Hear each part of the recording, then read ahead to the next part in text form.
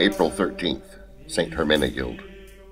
St. Hermenegild was the son of Leogovild, the king of the Visigothic portion of Spain in the 6th century, who was an Arian.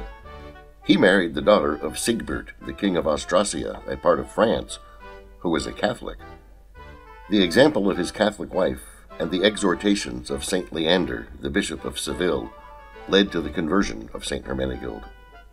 When his father heard of this, he threatened to deprive his son of his kingdom and even his life unless he returned to Arianism.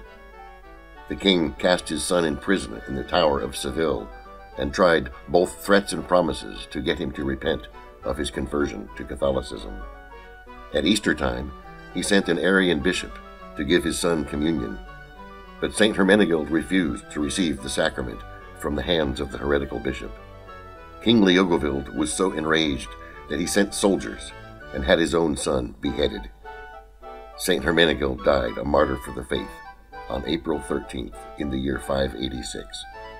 St. Hermenegild, pray for us.